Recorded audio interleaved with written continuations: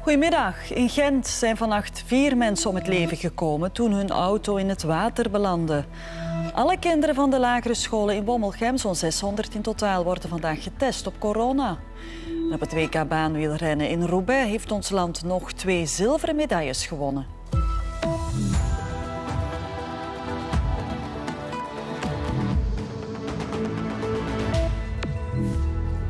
Welkom. Een harde klap en dan niets meer. Het centrum van Gent werd afgelopen nacht opgeschrikt toen een wagen met vier inzittenden in het water van de Leie belandde. Voor de vier kon jammer genoeg geen hulp meer baten. Het gaat om drie mannen en een vrouw. Maar verder is hun identiteit nog niet duidelijk en ook over de omstandigheden van het ongeval loopt een onderzoek. De auto had een Franse nummerplaat. De Huidevetterskai in Gent. Hier gaat het rond half drie vannacht fout. Op deze weg met eenrichtingsverkeer gaat een wagen met vier inzittenden na een flauwe bocht van de weg en belandt in de leien. Deze buurtbewoner vertelt wat hij gezien en gehoord heeft. Van de nacht uh, was ik uh, naar de tv kijken en ik hoorde vrij lawaai in de klop. Hè. En toen ben ik naar beneden gelopen, omdat ik een, een knal hoorde in het water. Ik heb eens te kijken en die auto's lagen in het water met de lichten aan. En uh, ja, toen zag ik de politie en alles zien toekomen. Een andere getuige verwittigt de hulpdiensten. De brandweer zet duikers in om de wagen en de inzittenden uit het water te halen. De duikers zelf waren echt in het water en het bootje ook. Op het boot zaten er twee personen. Ze waren echt aan het duiken. Ze hebben echt het zoeken rondom. En daarachter hebben ze dan uh, met de brandweer uh, heftig naar omhoog zitten trekken en dan de auto omhoog gehaald. De auto had een Franse nummerplaat, maar over de identiteit van de inzittenden is nog niets bekend. Politie en parket gaan uit van een ongeval. Of de wagen te snel reed, bijvoorbeeld, dat wordt onderzocht. Maar dit is een buurt waar ja, wel vaker te snel gereden wordt. Ja, dat is hier altijd s'avonds enorm druk en uh, enorm snelheid. Nou, we gaan naar, uh, naar Thijs Nijring. Thijs, eerst en vooral, wat weten we al over de identiteit van de slachtoffers? Is daar meer nieuws over? Wel, ik had net nog de woordvoerder van de politie aan de lijn en die identificatie die verloopt heel moeizaam. Er zijn bijvoorbeeld geen identiteitskaarten in de wagen gevonden. Dus proberen ze via de Franse overheid, via de nummerplaat van de wagen, om te weten wie de eigenaar daarvan is. Maar dat moet via de officiële weg en dat kan uren duren. Intussen is ook de wetsdokter aan de slag met zijn onderzoek. Hij probeert de doodoorzaak te achterhalen, maar ook de identificatie. Maar ook dat onderzoek zal nog enkele uren duren. En politie en parket willen niet reageren tot die resultaten bekend zijn. Oké, hopelijk in de komende uren meer nieuws. In je reportage hoorden we ook een buurtbewoner die spreekt over hoge snelheid op die plek. Is dat ook de officiële oorzaak van het ongeval?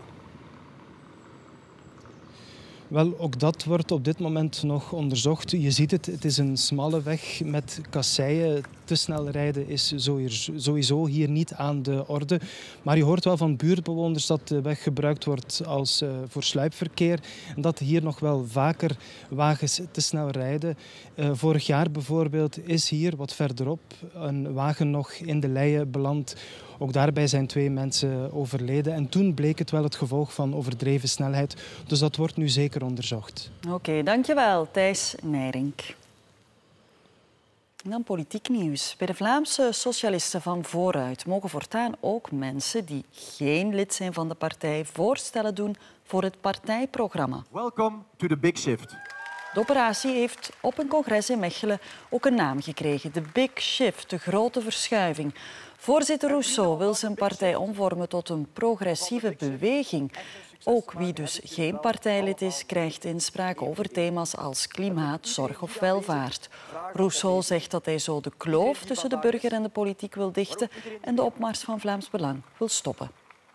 Hoe groter onze beweging wordt, hoe groter de dam die we kunnen opwerpen tegen extreem rechts. Uw engagement kan daarbij het verschil maken. Uw enthousiasme zal zich uitbreiden over heel Vlaanderen. En samen, vrienden, samen groeien we uit tot een progressief leger dat niemand in 24 zal kunnen stoppen.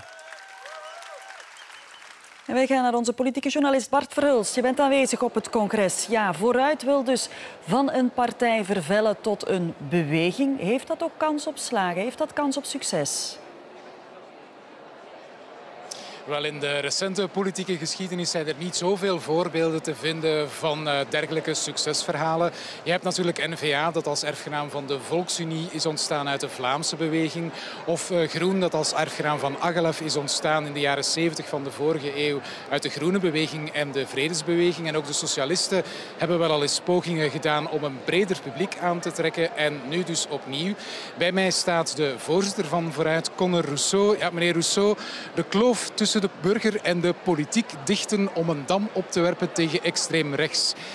Ik denk dat we zijn toch niet meer in de jaren 90 van de vorige eeuw. Is dat geen oud recept? Nee, maar je merkt wel dat ook vandaag heel veel mensen het gevoel hebben dat de politiek voor hun geen verschil meer kan maken. Ze geloven het niet meer, er is geen vertrouwen.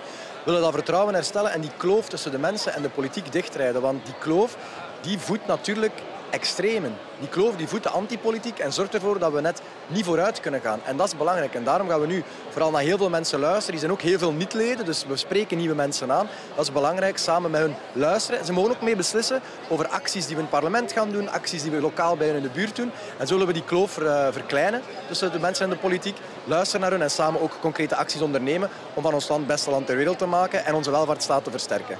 Dan lijkt het er een beetje op alsof u zelf geen ideeën meer hebt. Oh jawel, we hebben heel veel ideeën, eh, Bart. Maar de tijd dat de, pas, de pastor in de parochie stond te spreken... Wat, uh, wat de mensen moesten denken en niet moesten denken, die is voorbij. Mensen willen zelf ook wel natuurlijk de handschoen opnemen en de, de handen uit de mouwen steken. En dat mogen ze doen. Tuurlijk hebben wij ideeën en alle ideeën zullen ook wel getoetst worden aan onze visie. Um... Ja, want dat is natuurlijk wel een risico. Hè? Misschien dat die mensen wel met ideeën komen waar u als partij gewoon niet achter staat. Ja, maar iedereen weet wel natuurlijk welke richting wij willen uitgaan. We zijn een centrum-linkse beweging die uh, vooral die welvaartsstaat wil versterken, rechten en plichten, maar toch ook vooral waar solidariteit, solidariteit het kernbegrip is. En alles zal daaraan getoetst worden. Dat is ook heel duidelijk in de speech gegeven, dat vrijheid, gelijkheid, maar solidariteit en herverdeling, dat dat kernwaarden zijn, dat dat het doel is, uh, hoe we ons land kunnen versterken. Maar ik ben er echt van overtuigd dat we ons ook wel iets zullen laten verrassen door misschien nieuwe winden. En de mensen zijn mondig en verstandig genoeg om ons te verrassen. Dus ik nodig iedereen uit om mee te komen spreken in de Big Shift, om mee samen het verschil te maken en de extreme af te stoppen. Zou u ja, over die extreme gesproken, zou u zich niet beter wat meer zorgen maken over radicaal links? Want het is die partij, PvdA, die met uw stemmen gaat lopen. Ja, maar de extremen in het algemeen. Hè. Ik daag de kijker uit om eens op te zoeken of eens na te gaan. Welk land in de wereld waar extremen besturen, de welvaart en de vrijheid erop vooruit gaan. Maar ik ga ze al direct helpen. Ze gaan niet moeten zoeken, want het bestaat niet. Dus je hebt echt wel ook mensen nodig die willen het verschil maken, die aan beleid willen deelnemen en die nu meer dan ooit willen luisteren. En wat de politiek te weinig gedaan heeft, is naar de plaatsen gaan waar de mensen zijn. En nu gaan we daar een nieuw begin doen. We zijn hier vandaag met heel veel nieuwe mensen en heel veel vaste leden aanwezig samen. En ik kijk er enorm naar uit om met heel veel mensen, ook de kijker thuis, om samen een nieuw verhaal te schrijven.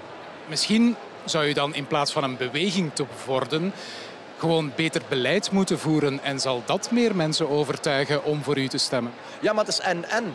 We denken dat we vandaag, als je kijkt, we gaan de lonen verhogen, de pensioenen verhogen. We investeren massaal meer in het klimaat, we investeren in veiligheid. We willen die welvaartsstaat versterken, waar iedereen zijn deel doet, maar ook iedereen zijn eerlijk deel krijgt. Dat zijn we aan het doen met Frank en Mirjam in die federale regering. Maar er zijn veel meer noden. Denk maar aan het onderwijs, waar bespaard wordt nu op leerkrachten, terwijl we te weinig leerkrachten hebben. Waar bespaard wordt op kindergeld, terwijl er zoveel noden zijn voor de toekomst. We willen met de mensen ook een heel duidelijk progressief signaal geven in 24. Maar dat gaan we niet meer alleen doen, dat gaan we met een heel grote groep doen. Oké, dankjewel uh, meneer Rousseau. Ja, en uh, uiteindelijk is het de bedoeling dat over een jaar er een nieuw congres komt van vooruit. En dan zal het op dat moment dan wel over inhoud gaan. Oké, grote plannen daar. Dankjewel, Bart Verhulst. En dan de coronacijfers. Die zitten al enkele dagen in stijgende lijn en dat is vandaag niet anders. De voorbije week waren er dagelijks iets meer dan 4000 mensen die een positieve coronatest hebben afgelegd. dat is een stijging met maar liefst 65 procent. Kleine kanttekening hierbij, er wordt ook meer getest. Maar het reproductiegetal ligt boven 1 en dat betekent dan weer dat de epidemie aan kracht toeneemt. Ook het ziekenhuispersoneel merkt nu de stijging bij het aantal besmettingen. Want afgelopen week werden er dagelijks 101 mensen in het ziekenhuis opgenomen. Een stijging van 67 procent. Alle samen liggen nu iets meer dan 1100 covid-patiënten in de Belgische ziekenhuizen. En exact 250 van hen hebben intensieve verzorging nodig. Ook hier een stijging met een derde. Jammer genoeg sterven nu dagelijks 13 mensen aan de gevolgen van het coronavirus. Over een uur worden in de gemeente Wommelgem in de provincie Antwerpen zowat 600 kinderen van de lagere scholen getest op corona. Het aantal besmettingen is er de voorbije weken sterk toegenomen, vooral bij kinderen van 6 tot 12 jaar. Eén basisschool moest al de deuren sluiten. De burgemeester heeft opnieuw de mondmaskerplicht ingevoerd aan de scholen in Wommelgem. En ook de plaatselijke jeugd- en sportverenigingen moeten maatregelen nemen om verdere besmettingen te voorkomen. De jonge voetballertjes moeten zich in Wommelgem weer buiten aankleden. Kleedkamers en douches zijn voor de min 12-jarigen sinds vanmorgen gesloten door het toenemend aantal besmettingen in de gemeente. Ja, dat is een beetje frisjes, maar we passen ons aan. Hè. Dus, uh, is geen probleem. Aangenaam is het niet, dus ja, maar het is wat het is. Dus. Het gaat om een aanbeveling, een voorzorgsmaatregel. Vervelend, maar alles is beter dan nog strengere maatregelen, klinkt het hier. Als wij dit moeten volgen zoals het eigenlijk op ons gezicht is, ja, dan kunnen we nog misschien blijven sporten. Want als we die, die regels niet meer volgen, ja, dan houdt het op niet als vorig seizoen eigenlijk. De, de gemeente wil natuurlijk uh, zekerheid inbouwen. En uh, nu dat de, de scholen uh, heel veel kinderen hebben die ook positief getest zijn, denk ik dat ze denken van we moeten iets doen. Basisschool De Boomgaard moest al de deuren sluiten. Om een beter zicht te krijgen op het aantal besmettingen bij lagere schoolkinderen komt er vanmiddag een testbus naar Wommelgem. Ja, we hebben dus gemerkt dat er een ontzettende ongerustheid is bij de ouders. Met een, het heeft geleid tot een grotere vraag bij de huisartsen. Onze huisartsen zijn al overbevraagd, dus we hopen met die brede testing vandaag van de druk bij de huisartsen ook een gedeelte weg te kunnen nemen. Pas morgen in de late namiddag worden de resultaten verwacht. Afhankelijk daarvan komen er mogelijk nieuwe maatregelen. Al denk ik soms uh, stilaan dat we er een beetje mee moeten gaan leren leven. Um, ik weet het niet of dat we dat op deze manier kunnen blijven doen. Zowel voor de kinderen als voor hun leerachterstand, als ook voor de ouders die telkens een oplossing moeten zoeken voor de kinderen. Ik weet het niet. Als het is dat nodig is dat de artsen van Agentschap Zorg en Gezondheid en van de eerste lijn zo aandringen op uh, verdere verstrenging, ja, dan zullen we dat moeten overwegen. Hè. Ook als het niet populair is, maar uh, het zal wel moeten gebeuren dan. In Wallonië laten opvallend meer mensen zich vaccineren. En dat heeft alles te maken met de coronapas die er binnenkort zal ingevoerd worden. Dat zegt de Waalse minister van Volksgezondheid, Christine Morial. Vanaf 1 november wordt de coronapas verplicht in de horeca, de cultuursector en de sportsector, net zoals in Brussel. Het aantal inschrijvingen voor vaccinaties is nu gestegen van 600 naar 2600 per dag deze week. En daarnaast komen er ook meer mensen zonder afspraken een vaccinatie halen. Dat zegt het Waalse Zorgagentschap. In totaal heeft nu 70 procent van de totale Waalse bevolking minstens één inenting gekregen. Ruim 60.000 mensen met een verminderde immuniteit kregen al een derde prik. Cameraregisseur die eergisteren om het leven kwam in Santa Fe in Verenigde Staten werd getroffen door een echte kogel. Dat blijkt uit het gerechtelijk onderzoek. Acteur Alec Baldwin vuurde het pistool af op een filmset, ervan overtuigd dat er losse vlodders in zaten. Maar dat was dus niet het geval. Het ongeluk roept vragen op over het gebruik van echte pistolen in de filmindustrie. Bij filmopnames gebruiken ze echte geweren. Maar gelukkig voor acteur Daniel Craig schieten ze met losse vlodders. Eergisteren op de filmset van Rust in Santa Fe vuurde een pistool minstens één echte kogel af. Die werd Helene Hutchins fataal.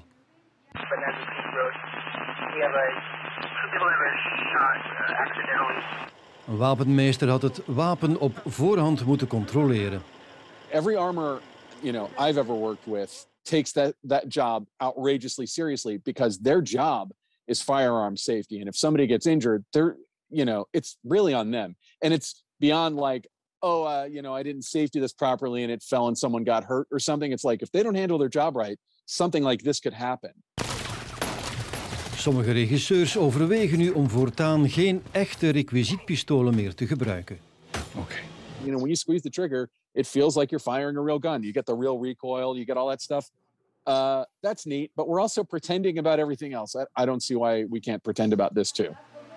Collega's en vrienden treuren nu om de getalenteerde Haline Hutchins. She filled up a room, you know. I'll, I'll end on that. You know, she just lit up a room um, with her smile and her radiance and her charm. And we're all going to miss her so much. Aline Hutchins was 42. Ze groeide op in een legerbasis op de Poolcirkel in Rusland. Na haar huwelijk met een Amerikaan verhuisde ze naar de Verenigde Staten. Ze laat een zoontje van negen achter.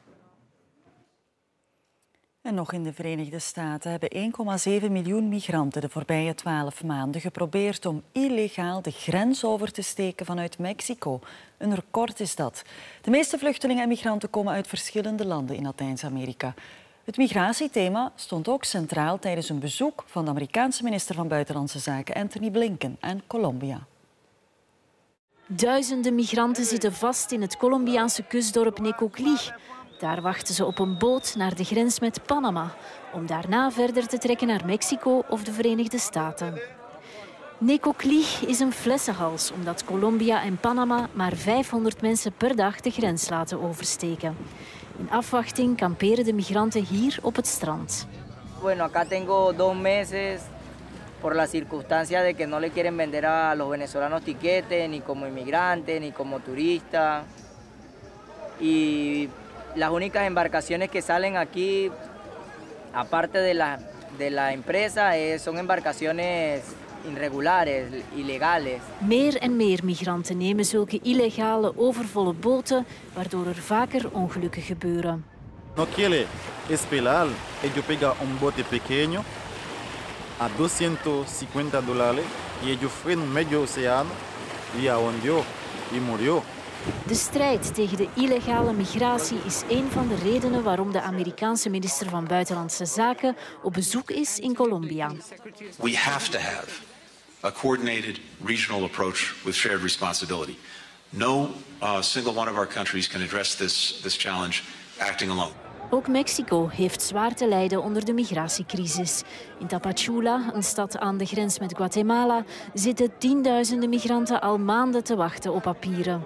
Massa's migranten staan nu klaar om later vandaag in groep verder te trekken naar het noorden. No va a haber quien pare esta multitud. Ya está, se acabó. Se acabó y nos vamos de Tapachula.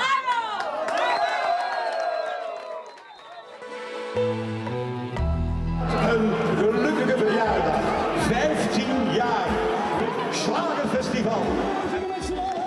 Straks maken we nog tijd voor een Polonaise op het Slagerfestival. Maar eerst het sportnieuws. Katrien, jij begint met het WK baanwielrennen in Roubaix, want het aantal medailles dat tikt daar mooi aan. Ja, we zitten al aan vier voor ons land en het is vier keer zilver, Hanne. Gisteravond kwam er twee keer Belgisch zilver bij. Lotte Kopecky werd vice-wereldkampioene in het Omnium, zeg maar de meerkamp voor pisterenners. Voor haar is het al het tweede zilver in Roubaix na dat van de afvalling. Kenny de Ketelen eindigde als tweede in de puntenkoers. Dat is alvast één mooie medaille bij zijn afscheid. De Ketelen rijdt in Roubaix op zijn 36e, zijn allerlaatste grote kampioenschap. Kenny de Ketelen is bijna met wielerpensioen, maar hij heeft de goesting van een nieuweling. Al vroeg in de wedstrijd neemt hij samen met de Spanjaard Mora een bonusronde. De Ketelen op kop van het wereldkampioenschap puntenkoers na twee sprints. Later in de wedstrijd komt daar nog een rondje bij. Een medaille kan de Ketelen niet meer ontsnappen. Maar de Franse topfavoriet Benjamin Thomas ontbindt in het slot van de wedstrijd zijn duivels en dan moet iedereen passen. De Fransman wordt wereldkampioen voor eigen publiek. De ketel is gesneuveld helemaal op het einde na een dijk van een wedstrijd. Het is goed voor een zilveren medaille. Ik heb alles juist gedaan.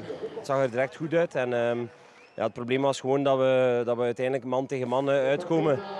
En ja, ik kon er gewoon niet aan. Hij was uh, een klasse sterker. Ik vind het jammer voor mezelf dat ik weer tegen zo iemand uitkom. Maar ik ben wel fier op mijn tweede plaats.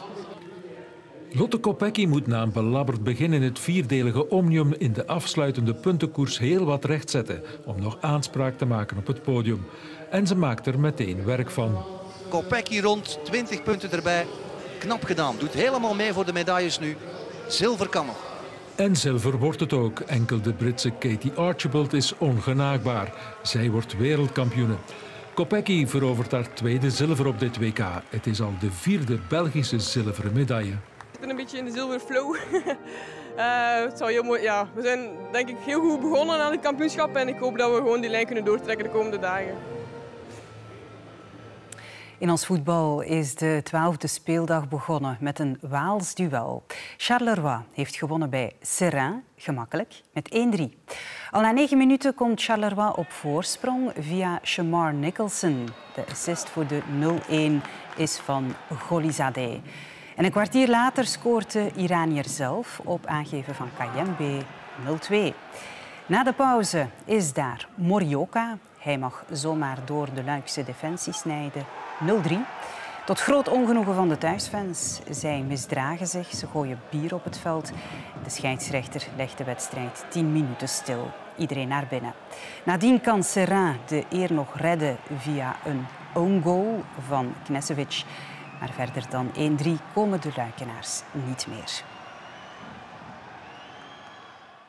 Door de zege rukt Charleroi in de stand op naar een voorlopige vijfde plaats. Charleroi heeft buitenshuis nog niet verloren dit seizoen. Serrain is veertiende. Vanavond moet de leider, het verrassende Union, naar de nummer drie Eupen.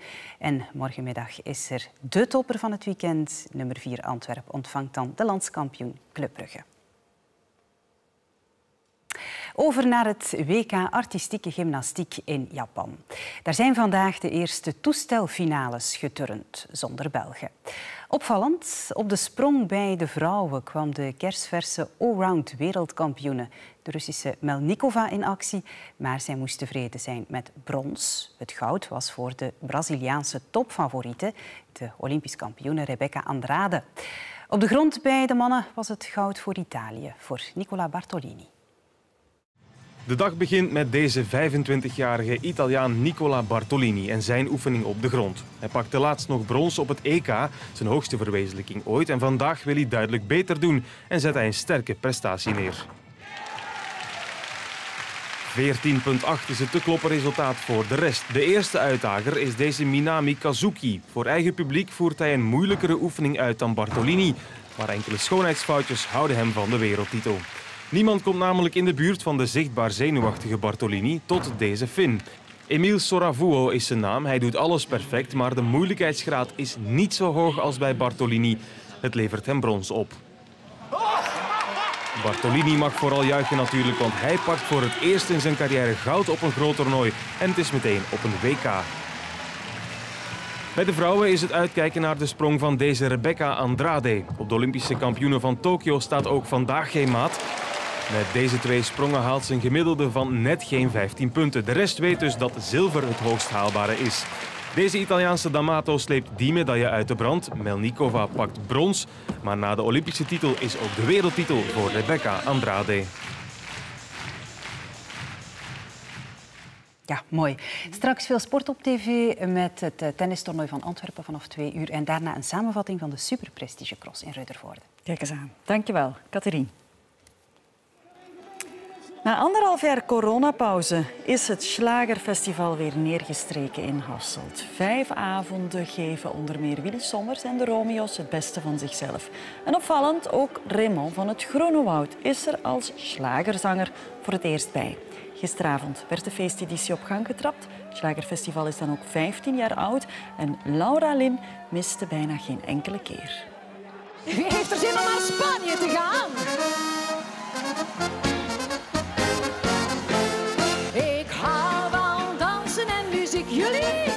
15 jaar geleden, ik, ik zie mij hier nog staan ook op dat groot podium als groentje eigenlijk. Want eh, ik, ik kwam toen net piepen en ik stond daar tussen al die grote artiesten. Ik voelde mij zo echt ja, onwennig. Doorheen de jaren zijn er toch alle artiesten gepasseerd die, die niet die typische slager doen. Zoals nu ook Remo van het Groenewoud. Ja, dat kan je zeker geen slager noemen. Ik zal ooit zijn geassocieerd geweest zijn met, met een rare zin, met eh, rockmuziek. En dat is zo... eh, in de cowboy-indianen verhalen is dat eh, de tegenpool ongeveer van het slagermuziekgedoe. Zou je dit 15 jaar geleden gedaan hebben? Waarschijnlijk niet. Maar intussen zijn zijn hits hier op zijn plaats, net zoals vele anderen.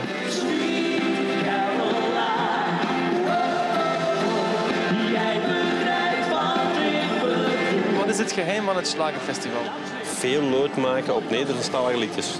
Daar ga ik het totaal mee eens. We zijn hier met het werk en dat is gewoon totaal plezier maken. Hè. Een ambiance. Je moet niet kunnen dansen, je moet alleen maar de Polonaise kunnen lopen.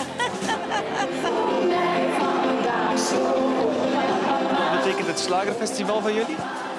Een droom. ja. Waarom? Ja, ik weet niet, ik ben echt een heel grote fan. En voor u? Wij komen om haar mentaal te steunen. Als ze van haar zus draait, we haar kunnen redden.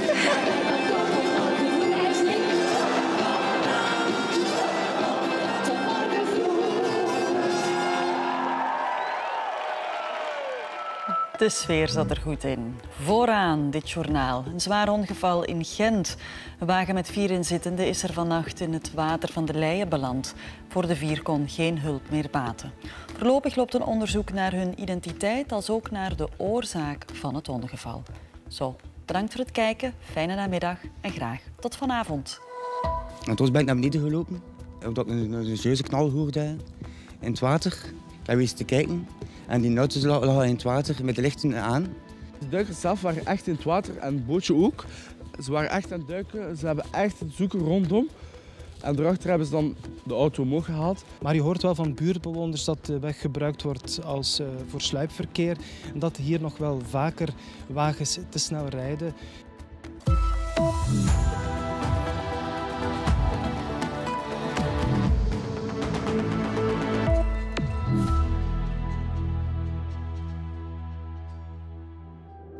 De 14 Nieuws-app heb je altijd betrouwbaar nieuws op zak. Download hem nu gratis.